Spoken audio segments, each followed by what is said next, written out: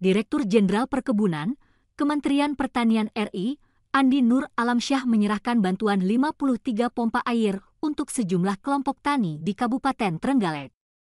Selain itu, Andi juga menyerahkan bantuan satu unit traktor kepada kelompok tani Sedono Makmur, Desa Wonoanti, Kecamatan Gandusari. Bantuan tersebut menurut Andi merupakan salah satu langkah dari Kementan untuk mensukseskan penambahan areal tanam, di Jawa Timur terutama di Trenggalek. Kondisi pangan kita kan lagi terganggu dengan adanya anomali iklim. Ya. Kita kan lihat nih, keadaan hujan dua minggu tiba-tiba berhenti. Ya kan? Kalau lahan-lahan sawah yang irigasi kita kan tidak ada masalah. Nah, Jawa Timur ini kan adalah tadas tada hujan yang cukup besar 200 sampai 300 ribu hektar yang harus dioptimalkan. Ya Pak ya.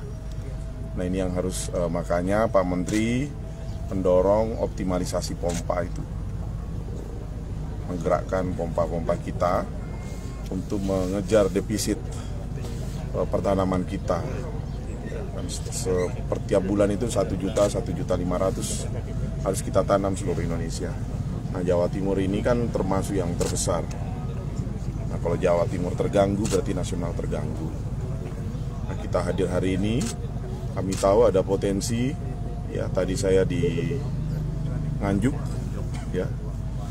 Ada Sungai Widas. Itu ada sekitar 15.000 hektar yang selama ini hanya bisa tanam satu kali. Atau dia nanam tiga kali tapi satu kali panen pak. Alhamdulillah kalau dia bisa panen dua kali nah di yang pertama di Sungai Widas itu ada lahan-lahan sawah kita yang uh, selama ini hanya mengandalkan tada hujan.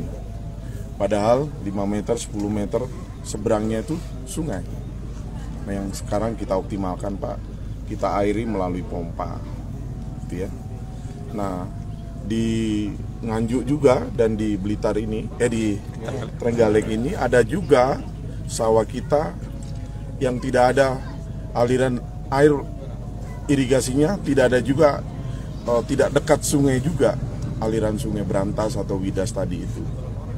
Nah ini nanti akan kita maksimalkan dengan uh, mendorong bantuan pompa apa namanya itu sumur pompanisasi sumur dalam itu. Yang ketiga di Sungai Widas Berantas itu kan biasanya di sini ada ada saluran sungai ada 80 hektar lah di situ yang bisa diairi langsung sungai.